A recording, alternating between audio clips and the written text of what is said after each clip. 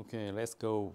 spine angle 유지하고 그대로 빵. 네, 안녕하세요. 스윙 천재 김민준입니다. 네, 오늘은 좀 똑바로 멀리 치는 방법에 대해서 이야기를 하려고 합니다. 뭐 방법이라고 하기보다는 정말 기본, 기초적인 건데요. 근데 잊고 연습을 하시는 분들이 상당히 많아요. 왜 그러냐? 우리는 하체를 많이 써야 되고 뭐 회전을 빨리 해야 되고 그런 것들에 생각이 좀 잠겨 있기 때문에 그렇습니다. 그래서 가장 좋은 방법이 뭐냐면 spine angle을 유지하는 건데요. spine angle이 뭔줄 아시나요? 이 척추 각도, 어드레스 했을 때 이 척추 각도, 이 앵글을 말합니다. 이게 움직이면 움직일수록 미스가 많이 나고 거리의 손해를 많이 볼 수 있다는 거예요. 어. 그러니까 내 각도가 어드레스 때 이 각도로 딱 섰으면 임팩트 맞고도 이 각도로 있어야 돼요. 이게 척추라고 생각을 했을 때. 그래서 제가 이 노란 스틱을 가지고 왔는데요.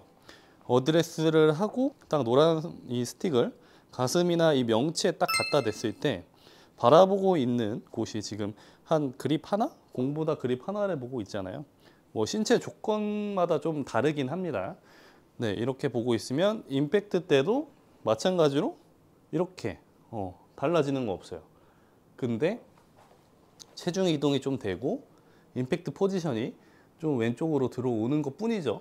그런데 대부분 좀 미스가 나고 좀 잘 못 치시는 분 보면은 이렇게 가슴면이 이렇게 위에를 보고 있는 거죠.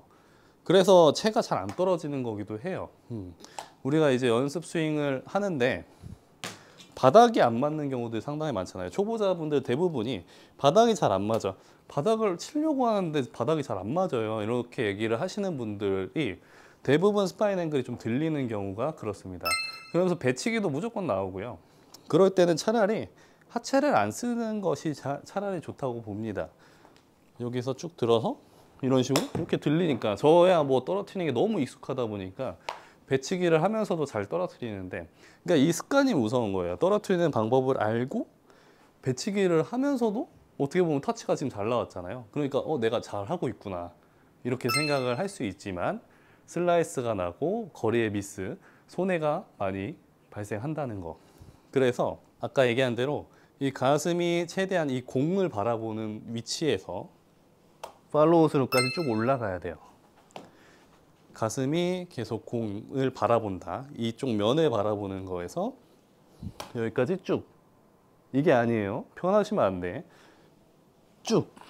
어떤 느낌이냐면 내가 정말 좁은 박스 안에 갇혀 있다고 생각을 하세요. 이렇게 어드레스를 지금 했잖아요. 여기 여기 이상 못 일어나. 어, 딱 내가 갇혀 있는 거예요. 그래서 백스윙을 들고 앞에 있는 공을 박스 위로 올라가면서 칠 수가 없어. 그러면 이 안에서 어떻게 해서든 이 안에서 하체도 써야 되고 비틀어야 되고 로테이션도 시켜야 되고 그 박스 안에서 빠져나가는 거예요. 박스 안에서 빠져나간다. 이 느낌으로 훈련을 해주시는 거예요. 쭉 잡고 박스, 딱 박스에 갇혔어요 지금. 박스 안에서 빵. 근데 하체는 지금 다 썼거든요. 근데 최대한 일어나지 않았죠. 이렇게 해서 spine angle을 유지를 하고 좋은 터치를 낼 수 있어야 됩니다. 오히려 draw가 걸렸죠. 쭉 박스권 유지하고 쭉 빵. 그러면 이 왼쪽 고관절이랑 엉덩이 옆구리가 엄청 땡겨요. 땡기는 부분까지 확실하게 쭉.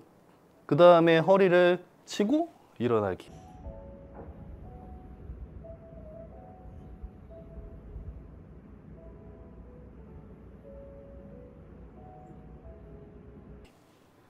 이런 느낌으로 follow through가 돼야 돼요.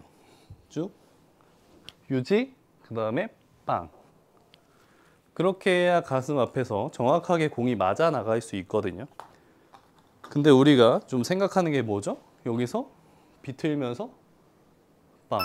그러면 spine angle이 여기 이렇게 있다가 이렇게 들리면서 미스가 납니다. 몸을 비틀더라도 spine angle이 유지된 상태에서 비틀어 주셔야 돼요. 이 느낌이에요. 이 느낌. 근데 이렇게 한다고.